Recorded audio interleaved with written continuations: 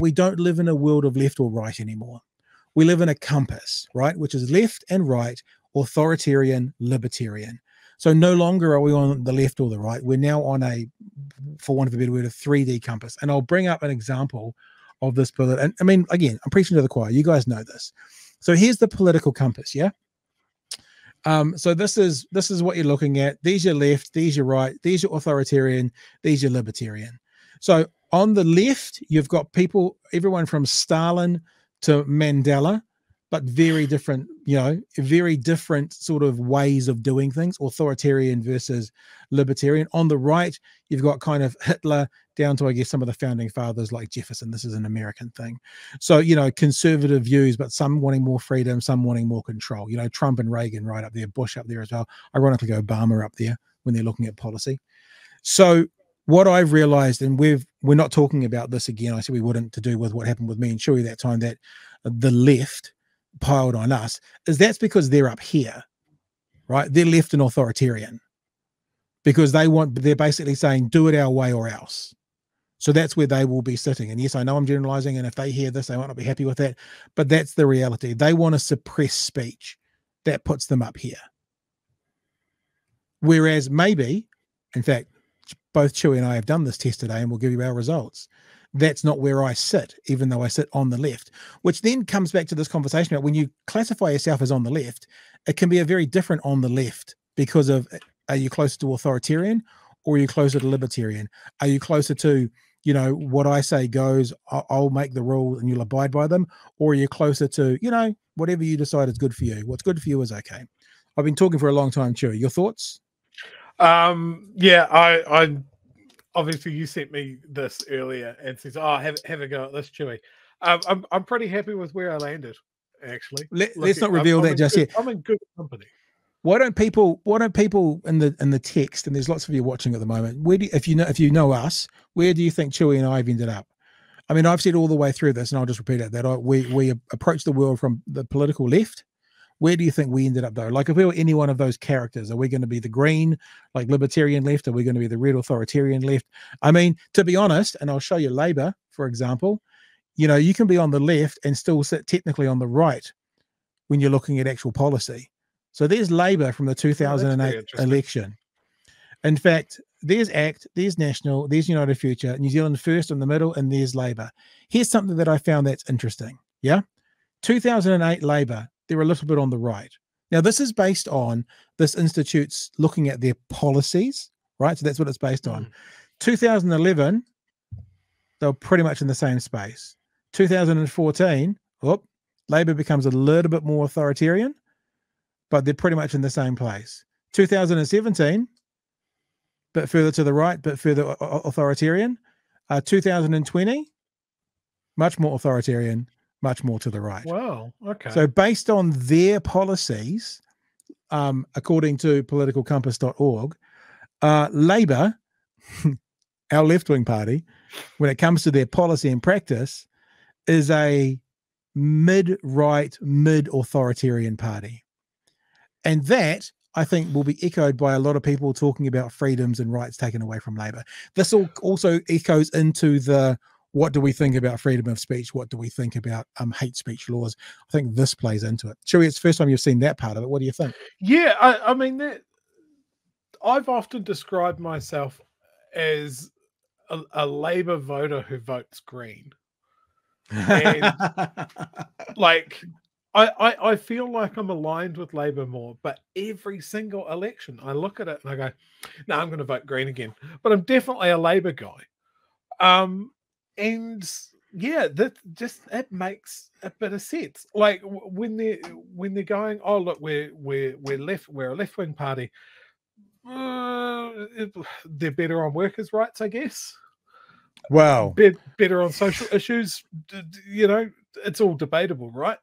But I, I'm not surprised to see that there's been that swing to the right and and this is why I think a lot of uh, left voters that aren't voting on color um, are, are, sort of a little bit disillusioned. And I think this is this is something that going into an election, Labour's got to be really, really sort of conscious of. because there might be a lot of Labour guys like me that are voting for somebody else. Yeah. Yeah. And look, I also think that um, a lot of people for a long time have talked about um, I haven't left Labour, Labour's left me. You know, ex- Mm. we, we have to accept that political compass is accurate um, for, for the statement. I'm saying you you may not accept that, but if that is correct and if that is accurate, you can see that the and I don't know if it was with you with George Chewie, but you know I, I said in the last couple of weeks that when the CEO report came out talking about not liking the Labour government or the CEOs, I was like, yeah, own it. Say say national, you can be the party of CEOs, will be the party of the factory workers because that's what they used to be. But looking at where their policies sit politically, they're they're not the party of the factory worker anymore. So then who is? And what about that voting block? And what does that mean for, I guess, uh, left ideology and left politics?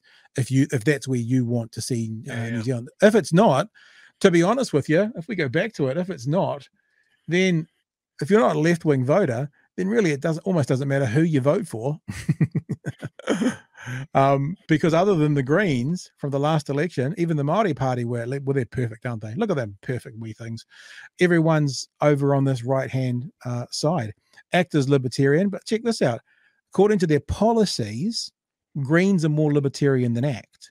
According to their policies, and that's according to political compass because Yeah. i think a lot of us think about things like hate speech laws and think about suppression of speech and think about you know the pronoun conversation and that sometimes can feel a bit like do as you're told and that can sometimes feel like it's coming from the greens but when when investigating their policy that's where they sit on the compass so mm-hmm. should we have a look we i, I i'm, I'm a bit bummed you sent me yours chewie because i was going to reveal it together at the same time sort of thing oh, okay. Right. Sorry. That's all right. That's all right because I get to do this. Uh, I get to uh, show yours. Uh, show me yours. I'll show you mine. And what I was thinking was we'll put these we'll put these two up on uh, the Facebook page, and you guys should go and do it. I saw Chewie put the link into the um into the chat, and then tag yours onto the onto the uh, Facebook page. I'll do that from tomorrow. Okay, and would be good to see where you guys are at. And you know, if you want to have a bit of fun, do it yourself. It's only six pages. It's probably fifty questions, forty questions. It's not. It's not that arduous. So here's Chewie. Here we go. Ta-da. Quite libertarian and very on the left. The only political party down here, obviously, is Green. Where do you think I came out, Chewie? Well, I just want to point out that I'm very close to Mandela, as I've always, always thought that I Uh, was. Um, where Somewhere, you you're somewhere. You're, you're you're kind of in the triangle between Marxism, Chomsky, and Mandela. That's the uh, called the Devil's Triangle. That's where you are. Um, I'm going to say that. Do you reckon I'm little- more? Do you reckon I'm more or less uh, libertarian than you? I reckon you're a bit more libertarian, but more to the right, So kind of in this area, Mm, a little bit further over to the the middle. this sort of area. Yeah, maybe somewhere around there. So the other thing, it's a bit like doing some kind of test, right? Is you can, um, it depends on the day, the way the questions. The the one thing about the questions is there's no neutral. So you either have to strongly agree, agree, disagree, or strongly disagree. And some of the questions I was like, you know, I don't know if I really agree or disagree. I'm kind of feeling a bit neutral, but so you have to pick. So I suspect it can change depending on the day and how you're feeling. But I think it gives you a bit of a rough idea. You ready, Chewie? Don't blink because Yep. you'll miss it. You'll miss it. The devil's Uh, triangle. Very good. Should we have a look at Very that again? good. Look, this is you. See if you can tell the difference. This is you. This is me. Oh, that's so close. You, me, you, me. So as far as I'm concerned, you are an authoritarian piece of shit trying to control me. Because look, I'm more libertarian than you. Yeah. Well, that's fine because I'm going to have a camp for people like you. We'll, we'll get you good and re-educated. but that's interesting, isn't it? Look how close we are. I mean, so maybe that's one of the reasons that you know nobody respects us or respects this show because they only get one perspective and nothing else. What would be interesting to know is if, uh, like, where you and I differ on those questions, and we sh- I haven't done that, but um, and so really, if you look where we are down in that bottom left-hand corner, uh, then as Chewie said, you know, Mandela, Chomsky, Marxism, the Devil's Triangle. We're down on this way, aren't we?